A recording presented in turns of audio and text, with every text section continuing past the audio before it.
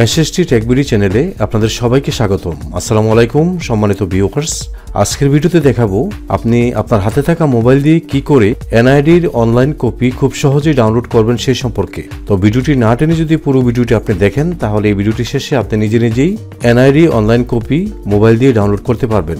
তো আর কথা নয়, চলুন আমরা ভিডিওটি দেখি।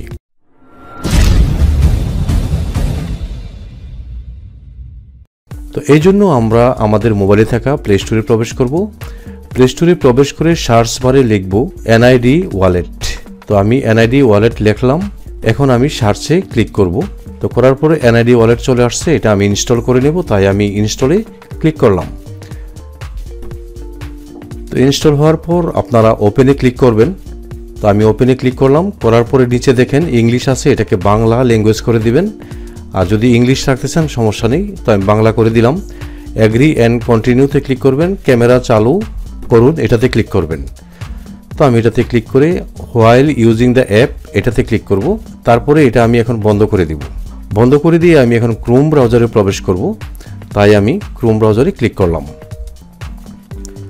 তো সার্চ বারে লিখব এনআইডি বিডি দেখেন, এটা লিখে আমি এই যে সার্চ এখানে ক্লিক করব। করার পরে প্রথম যে ওয়েব অ্যাড্রেসটা আসবে, সেখানে ক্লিক করব। তো আমি সেখানে ক্লিক করলাম। ক্লিক করার পর যদি এই ধরনের আসে, আমি স্ক্রিনটা একটু বড় করে দিই। হ্যাঁ এই যে দেখেন এনআইডি অনলাইন সার্ভিস আপনারা সেখানে ক্লিক করবেন। তো আমি সেখানে ক্লিক করলাম। তো ক্লিক করার পর অ্যাকাউন্ট নেই। তাই রেজিস্ট্রেশনে ক্লিক করবেন। তো আমি রেজিস্ট্রেশনে ক্লিক করে এই যে জাতীয় পরিচয়পত্র নম্বর বা ফর্ম নাম্বার, আপনার মোবাইলে অবশ্যই নির্বাচন কমিশন থেকে একটি মেসেজ আসবে, যে মেসেজে দশ ডিজিটের একটি নাম্বার থাকবে, আপনি সেটা দিতে পারেন। আর যদি নাম্বার না আসে, তাহলে যে ফর্মটা আপনাকে দেওয়া হবে, একটা স্লিপ দেওয়া হবে। স্লিপের উপরে ডান কোনায় একটা নাম্বার থাকবে, সেই নাম্বারটা এখানে লিখবেন।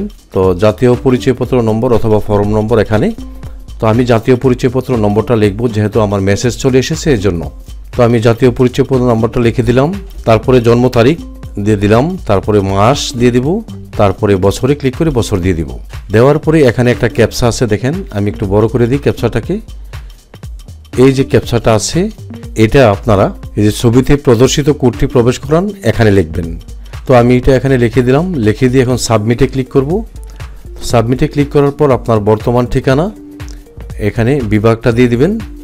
বিভাগ দিয়ে দিলাম। তারপর জেলা দিয়ে দিলাম, তারপর উপজেলা দিয়ে দিলাম, তারপরে স্থায়ী ঠিকানা, আপনার স্থায়ী ঠিকানা দিয়ে দিবেন, বিভাগ, আমি বিভাগ দিয়ে দিলাম, তারপর জেলা দিয়ে দিলাম, তারপরে উপজেলা দিয়ে দিলাম। এরপরে পরবর্তী এখানে ক্লিক করবেন, তো আমি পরবর্তীতে ক্লিক করলাম।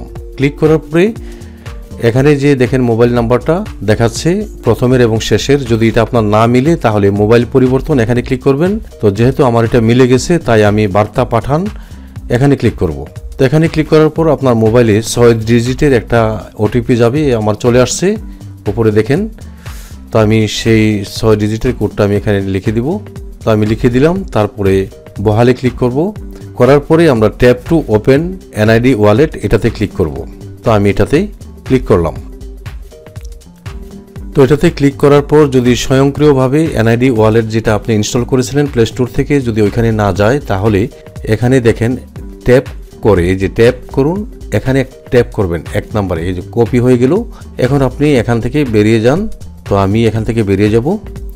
বেরিয়ে গিয়ে আমি যে ইনস্টল করেছিলাম, ওইটা ওপেন করব। এনআইডি ওয়ালেট এটা ওপেন করব। ওপেন করার পর, এই যে উপরে দেখেন ডান কোনায় কোড লেখা আছে, আমি ওইখানে একটা ক্লিক করব।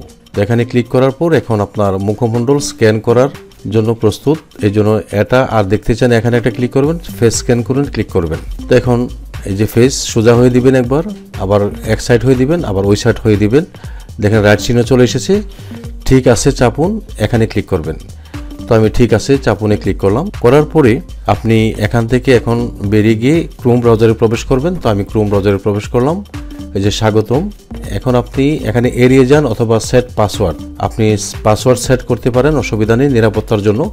তো আমি এখন এড়িয়ে যান, এটাতে ক্লিক করব। তো ক্লিক করলাম। ক্লিক করার পরে নিচে দিকে যাই আমি। এই যে দেখেন ডাউনলোড অপশন আছে, আমি এই ডাউনলোডে ক্লিক করব। তো ডাউনলোডে ক্লিক করার পর দেখেন এই যে এনআইডি কার্ড ডাউনলোড হয়ে গেছে।